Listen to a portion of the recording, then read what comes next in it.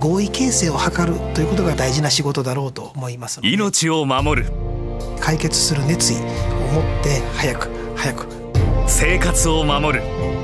制度の谷間にいる方をどう救っていくかということが政治の役割かと。平和を守るは絶対に戦争をしない。不戦の誓いというものは世界に。